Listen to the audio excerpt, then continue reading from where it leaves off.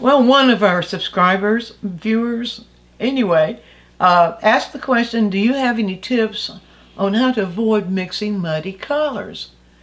Well, sometimes you might want to avoid and sometimes not. Let's explore the myth.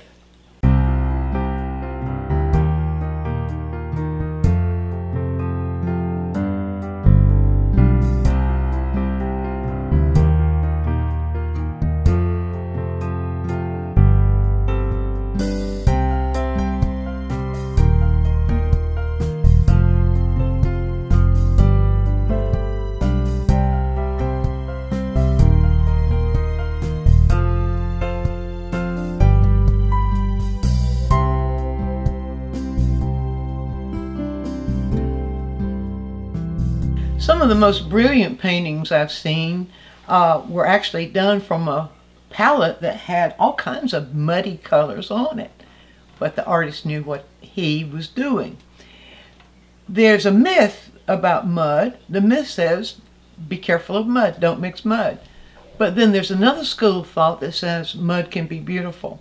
Now if you think about the colors in nature, many of the colors we make, like in the winter scenes, would mean mixing colors that would be characterized as mud. Well, I know what you mean by mud. And one reason you get what we call mud is that you overbrush. You, first of all, we start with colors that are really, really different from each other. Let's just make some mud. I'm going to reach over for white first. Let's just make some mud and let's say, oh, we're just randomly. I'll just bring this over here and I'll start out with something like this and then I began to add something like this. And, and then all of a sudden it feels muddy. It just really feels muddy. Add a little bit of this and then there you go. Muddy muddy muddy muddy. Now notice something. The more I do this the muddier it gets. So one one way mud or the, or the feeling of mud happens in a painting is that what's happening right here has way too much mixing going on. Because every time you pull that brush for the paint, you, you um, mesh together all those little particles of paint and they become homogenized. The more homogenized they are, the muddier they get. So there's one way that you get mud. And sometimes people are getting mud because they're not really, uh, they don't really have planned the colors they're mixing together, not paying attention to what colors are doing to each other. Now I'm going to rinse the brush off and I want to show you something here. Maybe I should make a stroke of that, but we'll do that later. I want to show you something. If I know what I'm reaching for, and if I know what value I'm going for, I can pull my paint, my brush into those colors and the result will not be muddy. Now let me show you what I mean by that.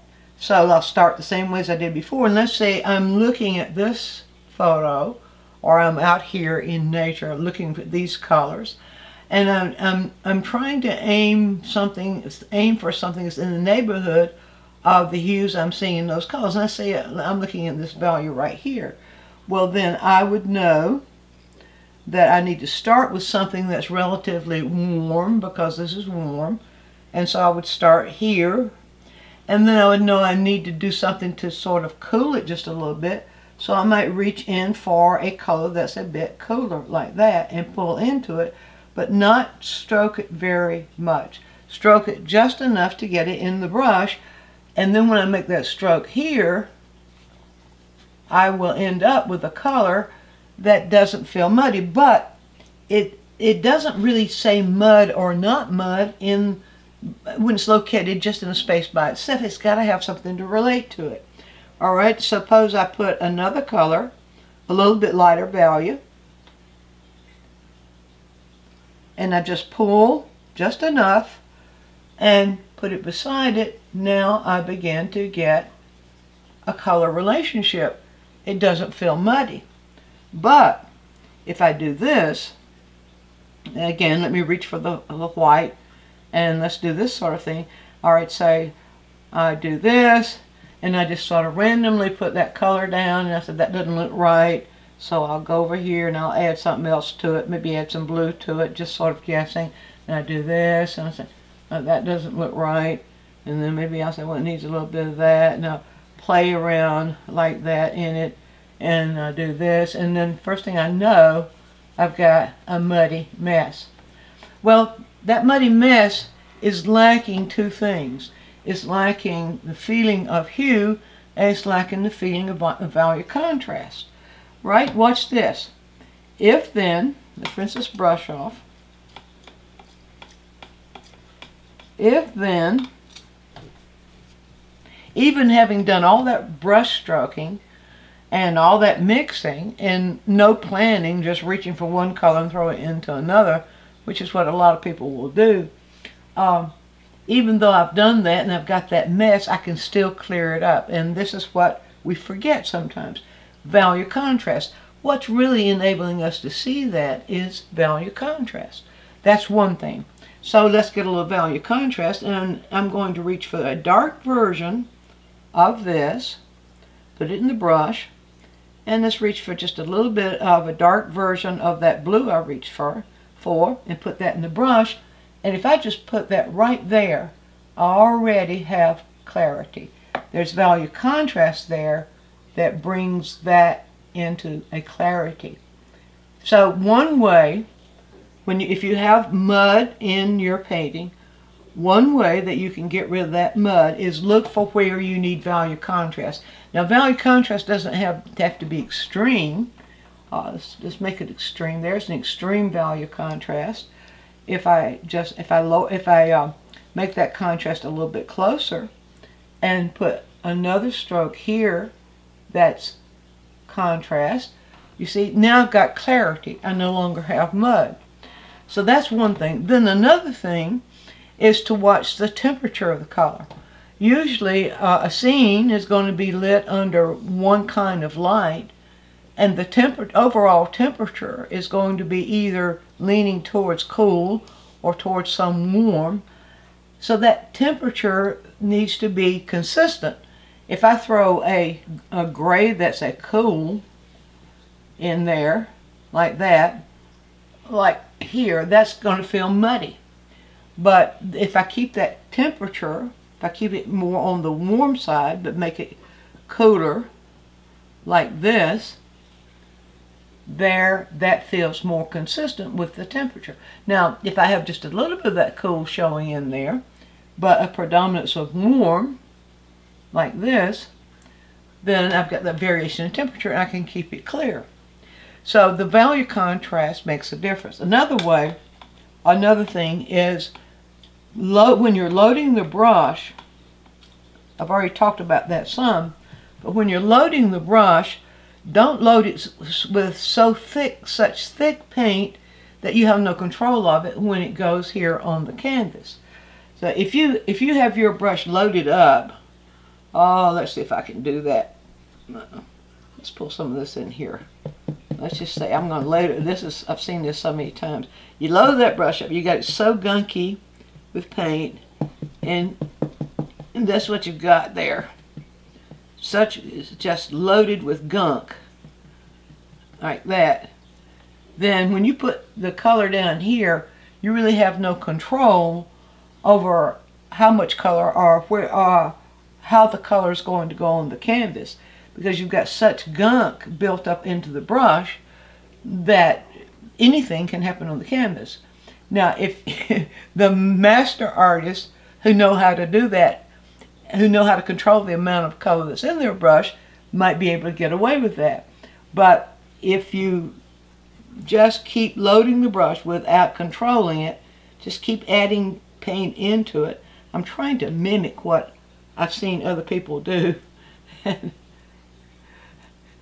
Here we go, mud, mud, mud, mud. You see, then then you're just going to get mud. But if you do this. Now, even rinsing the brush out is always a good idea.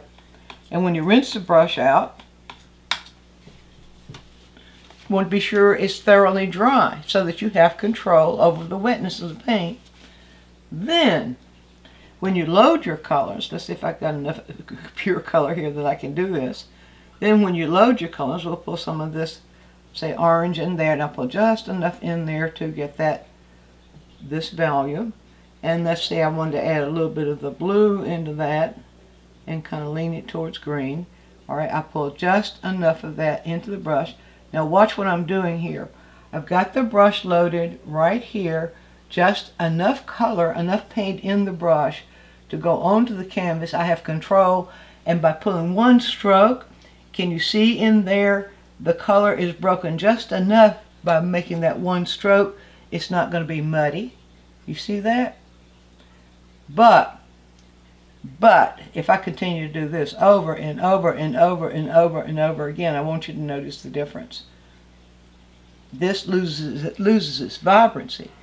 So, find your training of how to mix the color, load the brush, uh, according to the colors that you need and control the amount of paint you put in the brush as far as the way the paint's going to behave.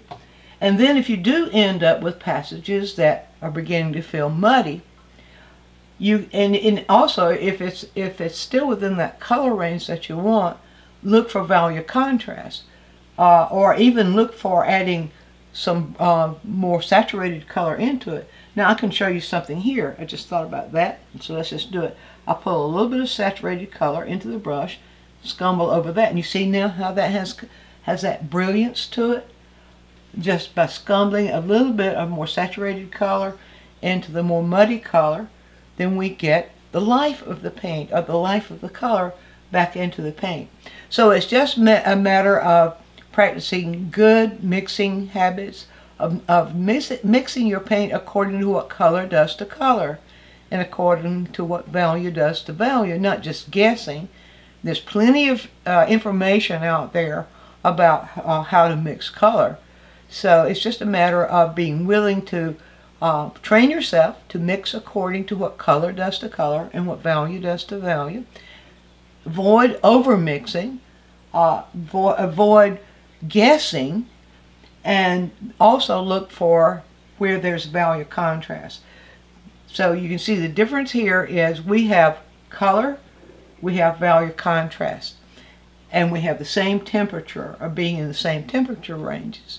And by doing all that, you're going to find you can use mud, or what people normally call mud, but your mud would be nice and vibrant. It won't be mud anymore. Then it will just be color. Be sure to view all of our quick tips. And while you're doing so, subscribe to the channel, click on the bell so you'll always get a notice when we produce a new quick tip, which is every week. And if you have a question, leave it in the comments section and we'll make a quick tip for you.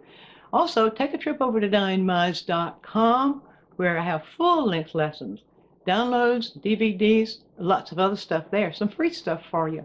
And while you're there, you can subscribe to the newsletter and that way you'll always be informed every time we do something new.